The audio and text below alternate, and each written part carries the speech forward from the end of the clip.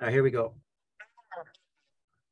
Three, two, one. Hey, good morning, good afternoon, good evening. Welcome, everybody. This is Copabe Play Ball, a special edition with baseball outside the box. Welcome, everybody in the U.S. and around the world. Thanks for joining us. Appreciate it. We are in over 100 countries, and it's all because of you. Cannot thank you enough. Hey, we're not going to waste any time because baseball's going, and we are excited. MLB, we got a great friend of ours from the fantastic island of Curacao. Of course, he's not Curacao, he's in spring training. And I've said it a thousand times, he needs to be a major league manager, no doubt in my mind. Um, but right now, he is the Yankees assistant hitting coach, the powerful New York Yankees. He's a former major league player, Dutch manager for the World Baseball Classic, Sir Hensley Meulens. Um, welcome to the show. What's up, buddy?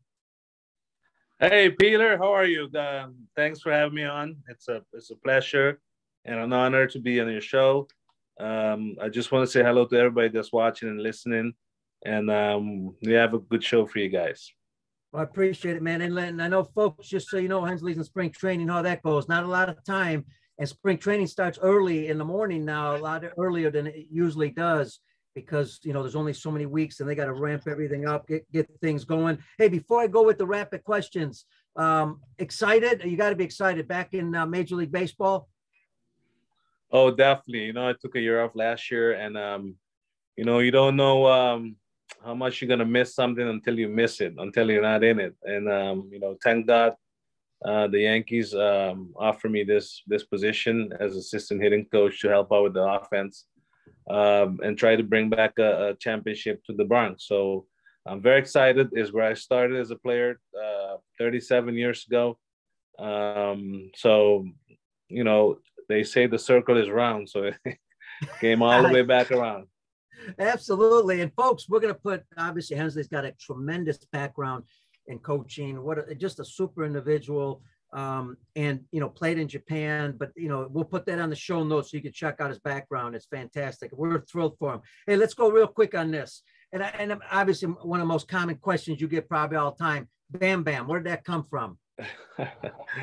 yeah, I, I, I think I need to answer that question in every interview I have all the time, which which is fine because um not everybody listens every time. So the people that haven't heard it before, you know, was playing softball uh, back home in Curacao. I was I was about 14 or 15, um, and and I was a right-handed hitter um, in baseball. Uh, and I was on our national team uh, uh in the senior division um, of Little League. So I didn't want to mess with my right-handed swing in, in softball. So I started hitting left-handed, and um, naturally I was I was strong, so I was hitting some bombs over the fence, uh, farther than natural left-handed hitters. And my my friends uh, uh, thought I was as strong as the Bam Bam from the Flintstones, walking around with a club. So they started calling me Bam Bam then. Um, and then a few years later, I was signed by the Yankees. I was 18 then, um, and I came to um, Florida Sarasota to play my my first uh, professional season in the Gulf Coast League, and there was a person that came by to um, you know to to he had a, a form that you had to fill um, with your hobbies, your names, and and things like that, nicknames, and um, I uh, I left the nickname part blank, and then he took my sheet and he says he said uh, what you know, Hensley Meulens, there's got to be a, a, nickname associated with this. And I said, well, my friends back back home call me Bam Bam. And then he put it in, and then the rest is history. Yeah, awesome. And, uh, you know, for folks in Copabe, Copabe, North, Central, South America, the Caribbean islands, you know, covers all that area. They may not know that. And, and the other part is Sir. Uh, talk about that. How'd you get the Sir part? That's awesome. Yeah, so it's uh, it's a lifetime achievement award um, that's um, um, given out to from from the Queen of uh, Netherlands to um, people that have done uh, great things in over their lifetime. Um, and so by winning the championships and and winning uh, a, a lot of um, uh, three championships with the, with the Giants in the major leagues and then other championships in my minor league career and also winning the championship in Japan, and um, also doing the, all the all the good deed things we do with the Curacao Baseball Week in Curacao, giving back clinics to um, all 1,200 kids that play baseball in Curacao every year. uh, so things like that were important uh, to the queen and um, i got i got knighted um, uh, in front of 40,000 people right at home plate wow. at, at AT&T Park in San Francisco right before a game. And, um, you know, that was a memorable moment and uh, I'll never forget it. And it was uh, um, quite an honor to be knighted um, in front of so many people um, in San Francisco. Wow, awesome honor. Um, hey, speaking about kids, as a kid, uh, you know, what sports you play? Uh, I played, uh, well, naturally I played so- uh, soccer because my dad was the captain of the national soccer team.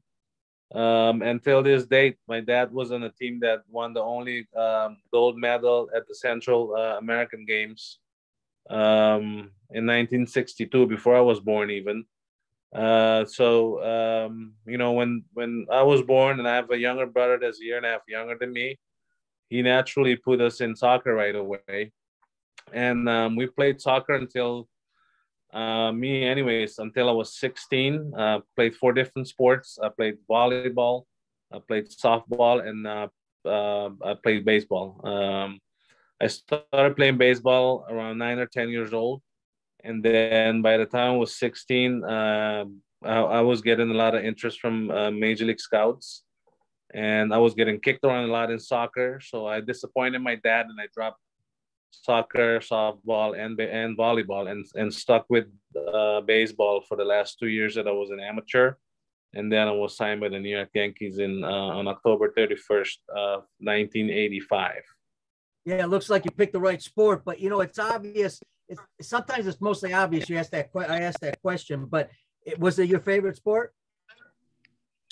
Baseball? Well, you know, baseball was uh, big in uh, Curacao at that time. I was starting to um, get some get some fume, but soccer was the biggest sport. And obviously, um, with my dad being such a big star uh, himself, you know, we tried to follow his his footsteps. Um, as you know, back then there was not there was no cable.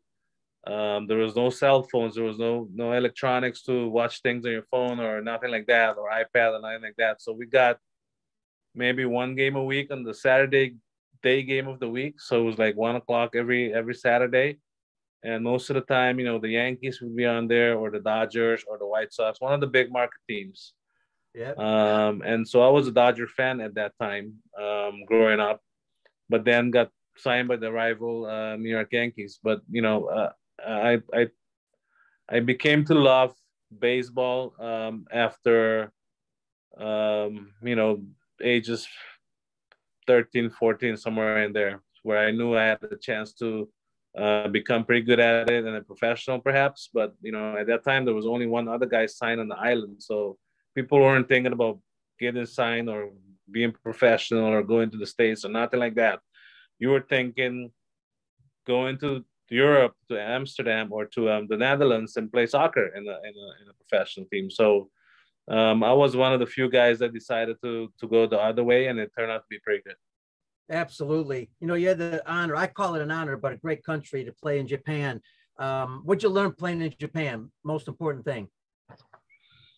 Well, uh, great culture, great people, very respectful people. Um, you know, I, I learned a different language. I learned um, to eat different food, and um, I, I learned that you know there was a, a, different way of, of doing things. Um, you know over over here everybody seems, seems to get mad at everything but there there was only one person getting mad was the boss and everybody was had to follow what he said. And um, you know guys are very respectful and uh, i was treated with with um, like a king uh, me and my family. Um, you know i've been to japan 12 times so anytime i get a chance to go i'll go i'll hop on the plane and go.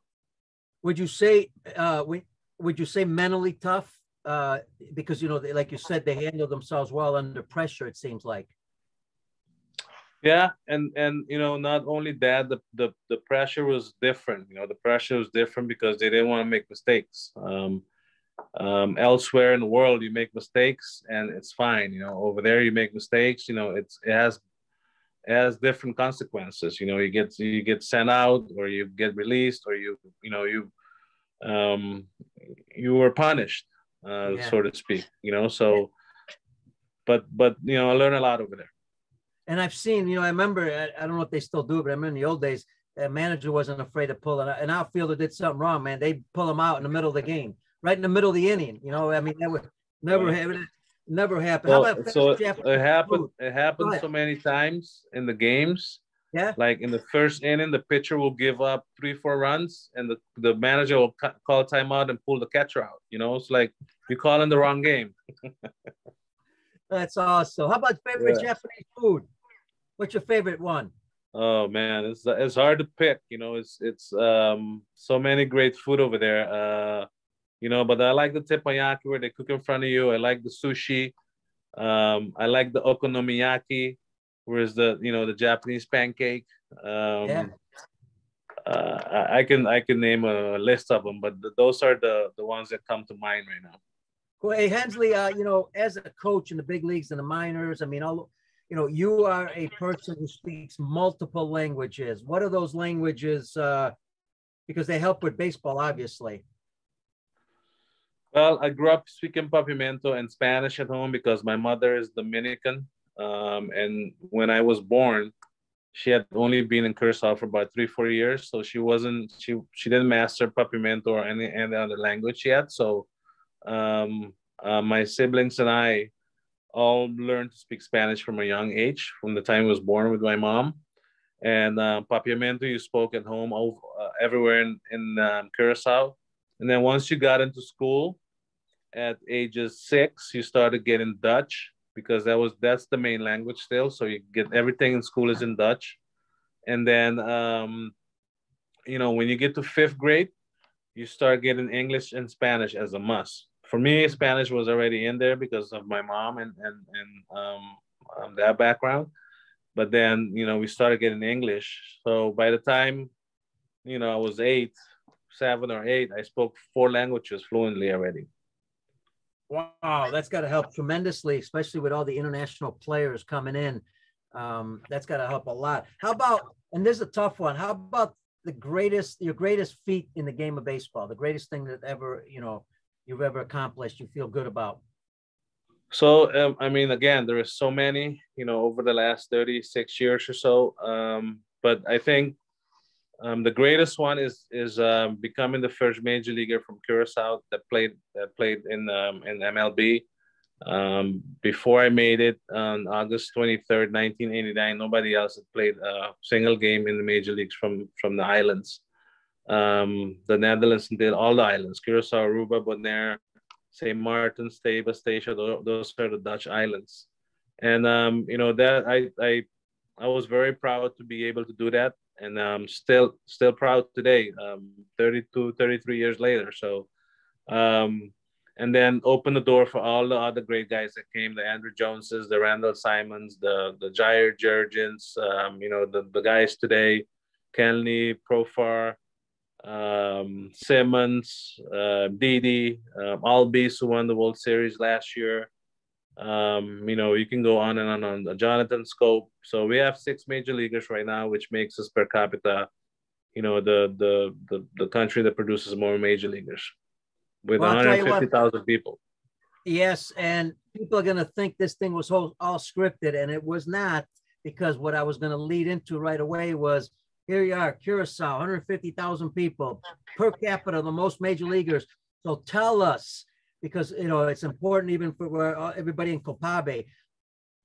Obviously, you mentioned all, all the things you do to help kids in baseball there on the island. I've been there, and actually, you know, saw everything that you do. It's incredible. But talk about why Curacao is producing these type of players. What are you doing right at especially maybe even at the grassroots level? What are some of the ideas that you guys have that others can maybe learn from? Uh, well, you said it right. I think Peter, you know, we we invest time in in our um, volunteers because we call them volunteers, our coaches at at the young ages um, that teach our our kids to play the game, and and it could be a father, it could be a mother, it could be a grandmother, it could be a grandfather it could be you know any of the above you know people with um, that perhaps didn't play the game themselves. But you know we, we bring these seminars to them every year so they can learn from people like you that that's done a great job um, um, educating our our people, our volunteers, um, what they should be teaching our kids. And um, um, you know, we're talented. Uh, you know, I think it's natural talent that we have there, raw talent. Um, but we need to refine it, and refining it is is the toughest job for all these coaches and, and volunteers. And without the um, these seminars and and the the, the experience they get and the um, what they get to learn from everybody we bring in every year, um, it's harder to do. And I think uh, if you can see over the last 35 years, 30, 35 years that we've been doing these clinics, um, how much the game has grown in Curacao. Because before that, nobody knew where Curacao was located. Even now, a lot of people don't even know where Curacao is located until they start talking about our players and um, Xander Bogaerts, who's from Aruba. Aruba's a more popular um, tourist destination, so people are, uh, uh, um, uh, you know, it's easier for them to know where Aruba is, not knowing that Curacao is just 40, 50 miles west of it. You know, so um, it's it's it's an honor to be able to, uh, you know, say that we we we do a lot to in order to try to refine our talent uh, and and as long as we're gonna live we're gonna try to uh, bring people like you down to help our volunteers coach our our kids uh, because we don't have professional baseball there. You know it's like amateur baseball. Um, we have a lot of options for kids. It's not only baseball. Kids can play all different sports um, it's it's not like Dominican or Colombia or, or Venezuela, one of these other countries. That's all they do, play baseball every day. You know, um, for instance, my son plays soccer and play, play baseballs. He plays um, rugby. You know, he plays the the cello. I mean, there is four or five different things he's busy with every day. Um, and besides uh, baseball only. So, um, you know, he goes to school. So, um, and, and most kids in Curacao are like this. So it's even uh, more gratifying for us to see when um, our kids are making it to the big leagues uh, when they have so many options. Absolutely. That is awesome. And folks, I've been to Curacao, beautiful island. Talk about a tourist attraction. It is a great place to go to. I love it. Um, you know, and, and what's interesting about that, I love the part that the kids play different sports. They do all kinds of different things. Um, what, what would you say the average uh, 11, 12 year old all year round, just curious, like how many games and how many practices would they have roughly?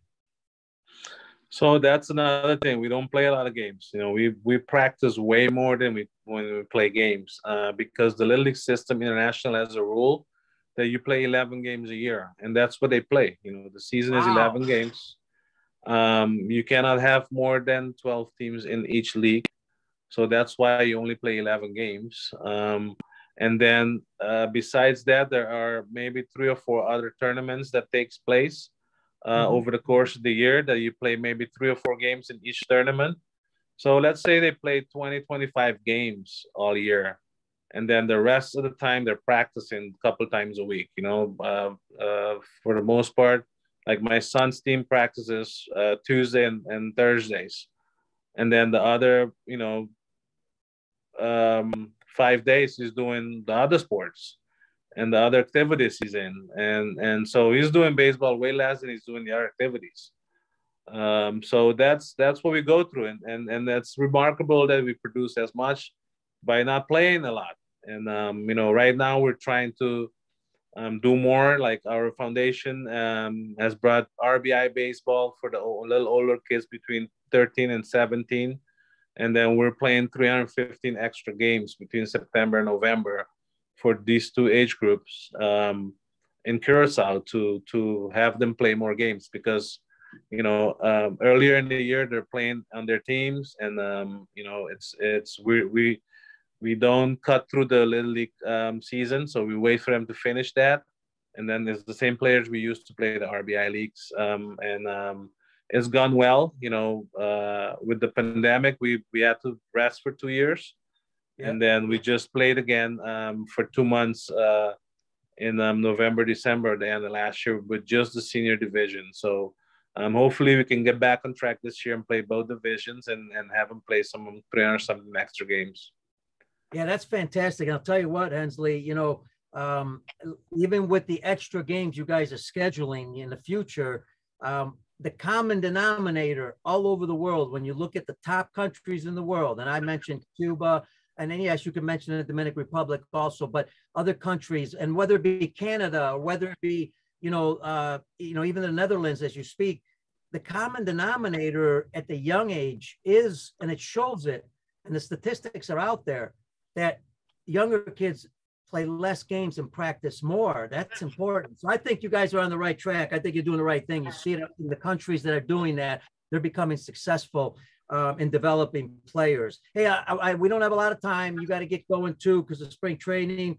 You got a game today. Um, I want to talk real quickly about your new position, assistant hitting coach in the big leagues. What, what does that entail? What's your responsibilities? Well, the um, um, the Yankees hired um, two young hitting coaches. Um, you know, the the the game has changed uh, a lot in going into the analytics um, um, direction and um, swing changes and things like that. So um, the Yankees didn't stay behind. They hired two two um, coaches that are in the big leagues for the first time in their careers. Uh, so they needed somebody with a little bit of experience, experience that's been through it, that's won and you know that that would help these guys get through the hump, over the hump uh, as they as they start their careers in the major leagues. And I assist them. I, I'm in the cages all day working with all our great hitters. Um, I get out on the field and um, assist there as well with everything that needs to be done. So we got to imagine right now for spring training, there is a lot of people around. Um, I believe we have over 60 players in camp. Um, so there is some 30 some hitters in camp. So that's way more than you have during the season. And one person or even two cannot handle all of that. So besides me, um, um, Dillon Lawson, who's the head hitting coach, and um, Casey Dykes, who's the other assistant. There is um, two other um, hitting coaches from the minor league. So there's five of us helping out with all these hitters every day. Uh, for instance, yesterday we played the game on the road in Dunedin against the Blue Jays and uh, most the most of our lineup didn't make the trip, so they stayed home to do their workout at home. So Casey and Dillon stayed home, and I went on the road with the other two uh, minor league hitting coaches to um, run the practice, run the batting practice, um, run the pregame, um, um, getting ready, um, go go over the reports with them uh, from who were they facing.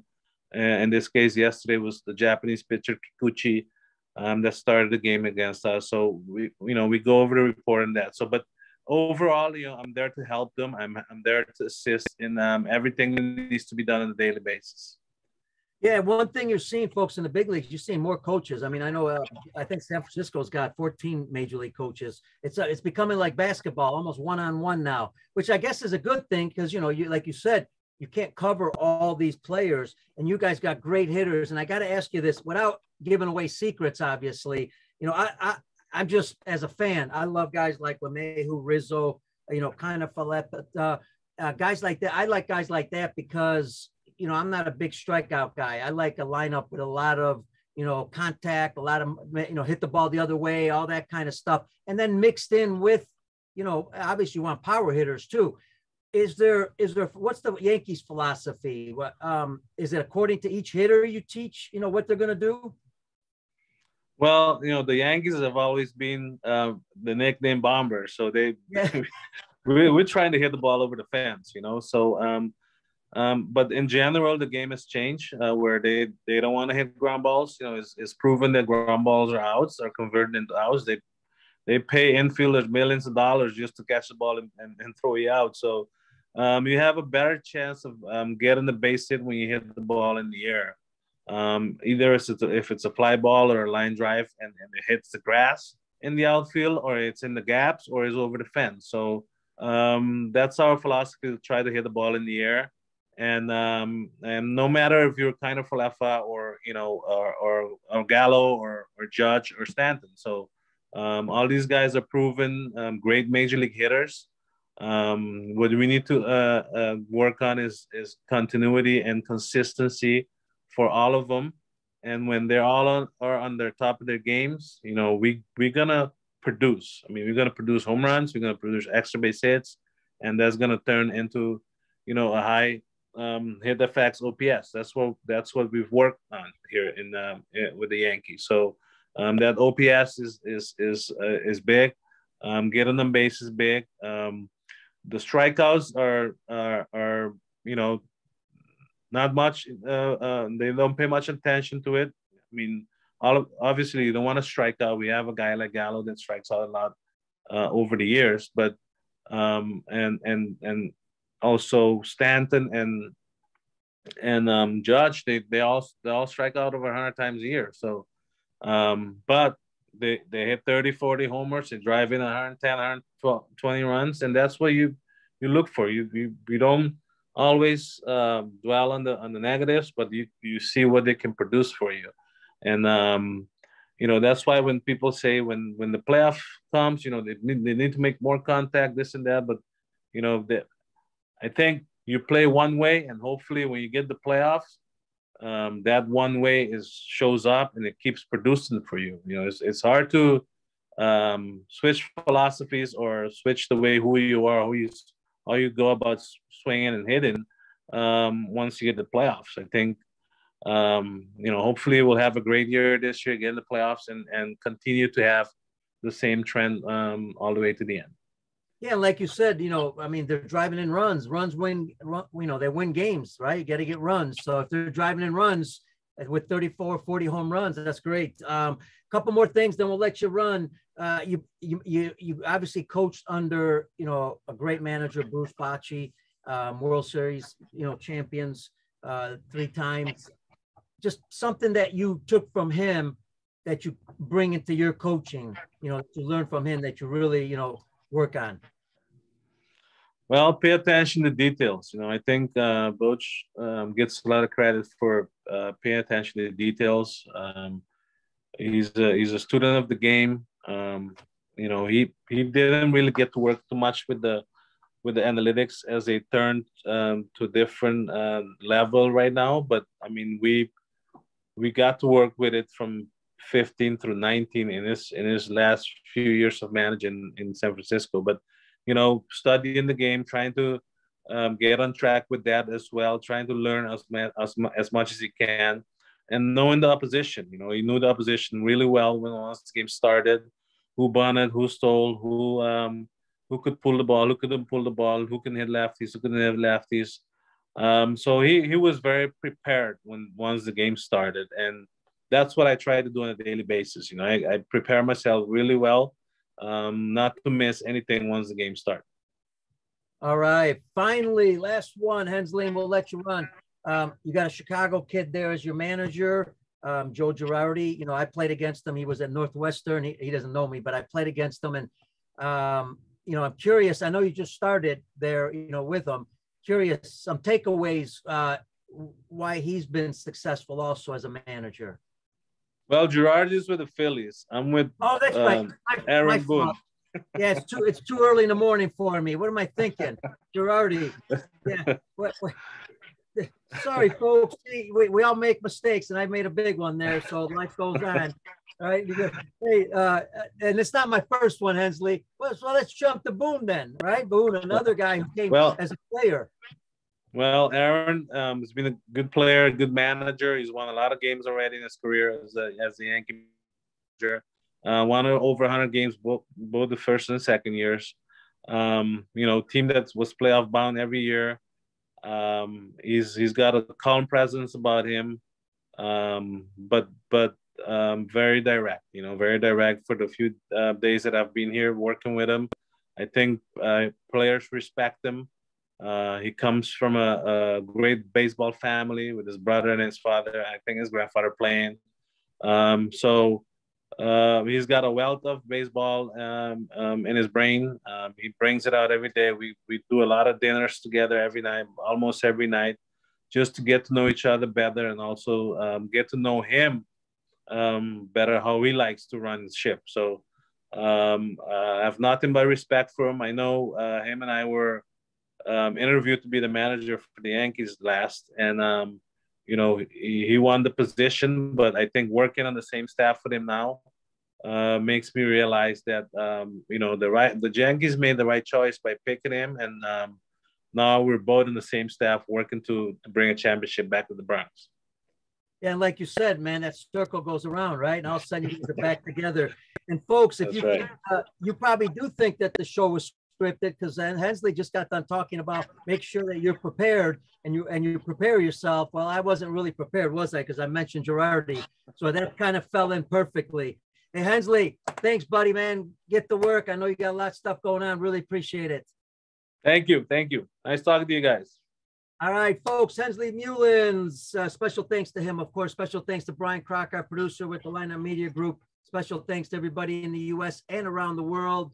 Uh, don't forget, go to baseballoutsidethebox.com. Check it out. Also, go to Baseball Outside the Box YouTube. You got Peter Caliendo YouTube. You got Facebook, Twitter. Check us out. Thank you, everybody. Uh, tomorrow, 3.30 Central Time. Let me tell you, uh, tomorrow, 3.30 Thursday Central Time, we are going to have Nancy Finley, um, the daughter of the brother of Charles Finley, the owner of and the Hall of Fame owner of the Oakland A's. So check it out. Be safe, be healthy, and we will see you on tomorrow's show.